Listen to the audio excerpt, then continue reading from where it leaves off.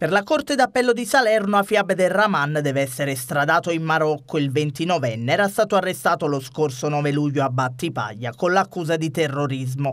Il collegio presieduto dal giudice Vincenzo Di Florio ha accolto la richiesta avanzata dalle autorità marocchine, autorizzando l'estradizione del 29enne. Per la Corte d'Appello, infatti, dai documenti emergerebbero gravi indizi di colpevolezza a carico del giovane, accusato da due persone di far parte di un'organizzazione terroristica nella quale avrebbe avuto un ruolo di primo piano. In particolare il 29enne avrebbe accompagnato personalmente in Siria i due sodali, facendosi consegnare anche 3.000 euro a titolo di finanziamento dell'organizzazione denominata Fronte di Supporto. Ad Aleppo i due sarebbero stati addestrati all'uso delle armi da fuoco per combattere sotto le insegne dello Stato islamico. Uno dei due sodali, inoltre, secondo le dichiarazioni rese, avrebbe anche partecipato ad un'operazione terroristica di natura suicidaria.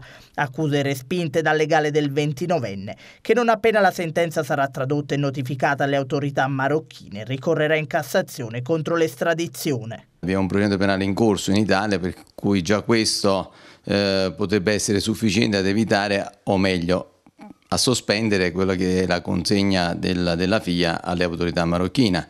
Poi ha fatto richiesta di asilo politico. Le motivazioni richieste di, sulla richiesta di asilo politico sono proprio quelle legate alla dichiarazione che la figlia ha reso all'epoca contro quello che è il governo eh, marocchino per cui ci sono dei validi motivi per far sì che lo stesso rimanga sul territorio italiano